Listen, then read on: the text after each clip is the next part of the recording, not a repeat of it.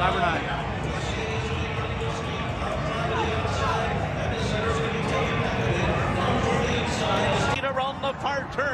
It is Crown Pride battling with Messier. They're stride for stride. Epicenter and Zozos in behind them. Cyberknife swings up on the outside. Zandon gets the rail run, and they're into the stretch. And it's Messier, Crown Pride, and Epicenter is coming up on the outside. Epicenter has taken the lead as they arrive into the final furlong. Zandon is coming after him.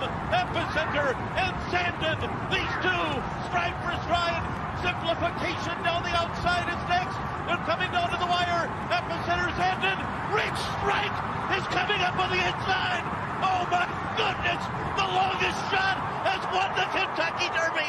Rich Strike has done it in a stunning, unbelievable upset as Crown Pride takes the lead around the far turn. It is Crown Pride battling with Messier. They're stride for stride. Epicenter and Zozos in behind them. Cyberknife swings up on the outside. Zandon gets the rail run, and they're into the stretch. And it's Messier, Crown Pride, and Epicenter is coming up on the outside. Epicenter has taken the lead as they arrive into the final furlong. Zandon is coming after him. Epicenter and Zandon, these two, stride for stride. Simplification down the outside is next. They're coming down to the wire. Epicenter Zandon. Rich Strike is coming up on the inside. Oh my goodness! The longest shot has won the Kentucky. This strike at 79 to 1. What fucking shaky, man. It's fucking nuts. Wow. What the fuck? Motherfucker came up the rail. Nobody won here. Who won? Nobody? Fuck no, nobody won. 20, 70? Oh my god, what the fuck? Fucking ridiculous. 80 to 1. Ridiculous.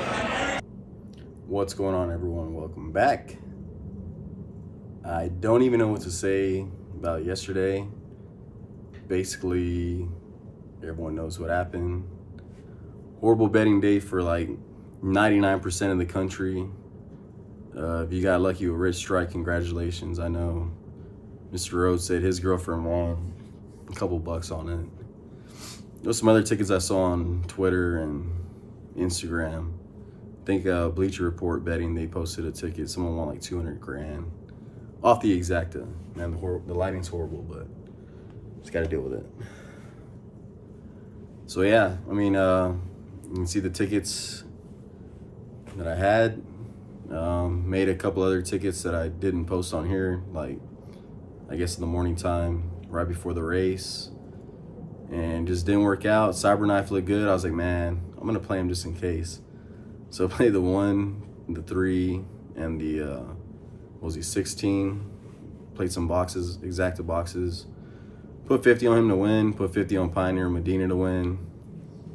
Um, I was gonna put 100 on Pioneer Medina, but I think I put 50 on Cavalry Charge, and I think it was like race 11 or 10. I don't even remember.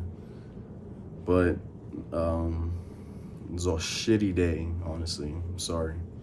No, there was cussing in the beginning of the video, but emotions were high. I was pissed.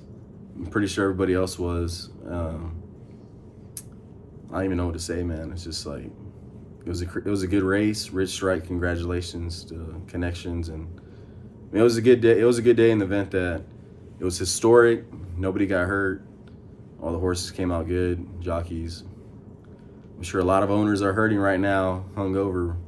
Best performance of the weekend was me yesterday, drinking all that beer, and waking up hangover free today. So that's the best performance right there for you. But uh, today's another day. About to head back to the Circa. If you haven't, if you haven't stayed at the Circa or been there, check it out. That's gonna be my next go-to spot. I'm not gonna stay nowhere else from now on. And I used all my, or use that Club One card that you have to sign up for to make all my bets. So I should have some pretty good points coming back towards me, or at least to go towards rooms and stuff. But I always stay here at the Luxor on the strip because it's cheap. Always get free stuff. Always get free upgrades, and that's pretty much it. But let's see if this thing works. Oh, it doesn't work. Um, yeah, I'm rambling on anyways, but kind of had a good idea. I knew a closer was gonna win this year, but didn't think it was gonna be Rich Strike. I thought I was gonna be someone else, I guess. Not at 80 to one shot. It's nuts. It's still it's hard to wrap your mind around, especially when you never play so much money on a race and then you go all in and you lose. But it sucks, but it's all right. You just gotta handicap better and I guess start playing that angle of a horse scratches and enters a race. Uh, bet them or at least play the all with the favorite, which is another thing that I didn't even think about. I was so confident on Mo Donegal uh, winning or Messier or Taiba in that one bet that I played with Messier and Taiba, but Smile Happy was a no-show. Charge it didn't show up. Uh, whoever said Classic Causeway would finish behind Charge It, it didn't happen. Sorry. And uh, see what else did I forget to cover. Um, yeah, that's pretty much it. I know me and the weekend handicapper were texting all day yesterday. Man, it was so close, both of us. But he's gonna hit the superfecta. We'll get it next year. Stick with the channel. Don't hit the unsubscribe button because we'll be back with more. There's plenty of more horse racing to come. Got the Preakness Stakes in two weeks, and then we have the Belmont after that. And then we have the Travers in the summer. then we got the Breeders' Cup in Keeneland. I'm going to try and make it to the Breeders' Cup, but we'll see. I already used up my vacation for this, so I have to try and figure it out and switch some dates around with somebody. But that's going to be it. I don't want this to keep going on, but just keep your head up. I'm trying to.